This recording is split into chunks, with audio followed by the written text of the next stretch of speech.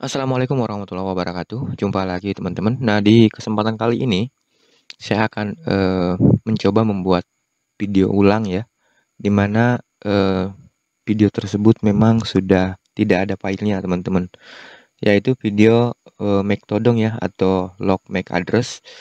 Nah, di sini saya menggunakan OpenWrt yang terbaru, sekalian juga membuktikan ya bahwa di OpenWrt terbaru pun juga bisa menggunakan MAC todong teman-teman.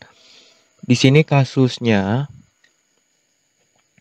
eh, yang mestinya modem ya. Di sini di One ETH1 akan tetapi yang terdeteksi sebenarnya ini adalah eh, USB tulan teman-teman. Nah, kemudian di device di sini saya sudah bridge untuk ETH2 yang semestinya USB tulan ini malah device dari modem teman-teman. Jadi solusinya kita eh, pakai MAC todong ya dengan cara memaksa MAC address dari modem tersebut berpindah ke ETH1. Kemudian sebaliknya pun juga demikian ya, memaksa MAC address dari eh, USB tulannya berpindah ke ETH2, teman-teman. Karena eh, topologi yang ingin saya gunakan yaitu ETH1 di modem dan ETH2-nya di USB tulan. Nah, oke, okay, uh, kita cek dulu ya. Di sini saya sudah buatkan skripnya juga. Nanti akan kita simpan di folder etc yang satunya di init.d dan yang satunya lagi di uh, config, teman-teman. Nah, di sini skripnya sudah saya siapkan dan metodenya pun juga beda ya dengan tutorial yang sebelumnya. Pertama, Uh, di sini ada garis pembatas, jadi teman-teman cukup mengeksekusi uh, yang ada di dalam garis ya. Nah, seperti yang pertama yang di atas ini, kita akan membuat file uh, di folder config ya dengan nama file yaitu Mactodong dan isinya adalah konfigurasi Mactodong yang akan kita terapkan di USB tulan dan modem tadi, teman-teman. Nah, di sini teman-teman bisa merubahnya sebelum mengcopy paste ke uh, terminal.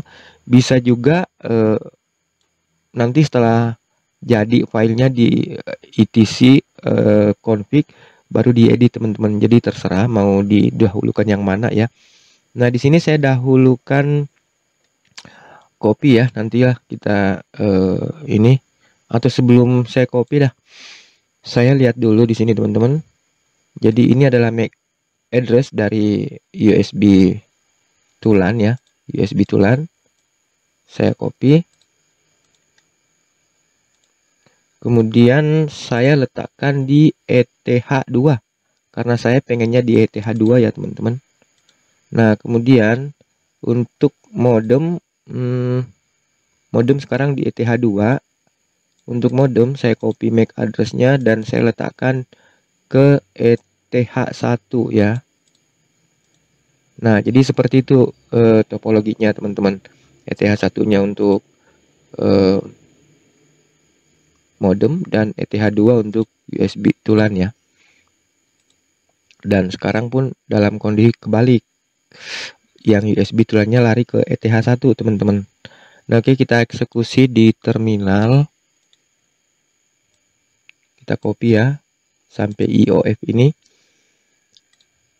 Paste dan enter. Oke, sudah. Uh, kemudian selanjutnya yang kedua teman-teman ya. Yang ini kita copy sampai IOF juga atau sebelum garis ya.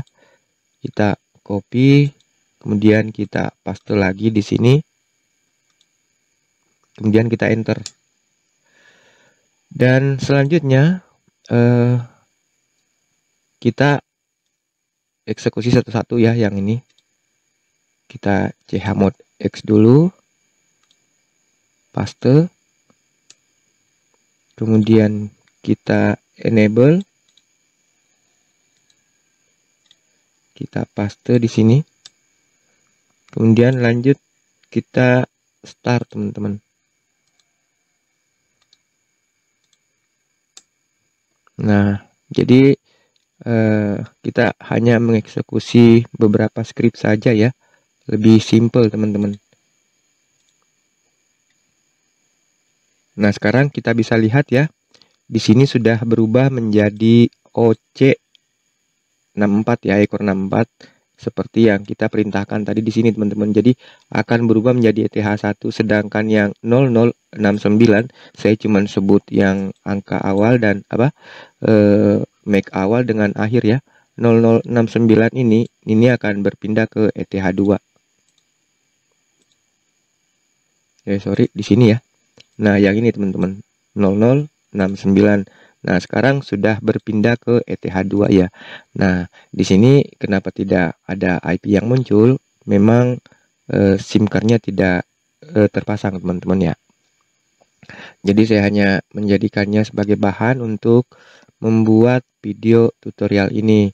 Nah, untuk mengecek filenya di sini untuk nantinya mengedit ya, etc kemudian cari uh, folder config, kemudian di sini ada file mactodong. Nah, tentunya di sini sudah bisa kita edit secara manual lagi.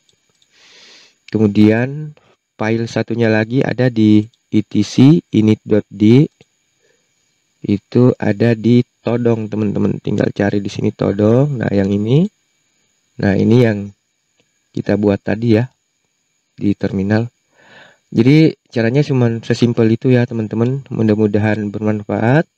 Terima kasih banyak. Assalamualaikum warahmatullahi wabarakatuh.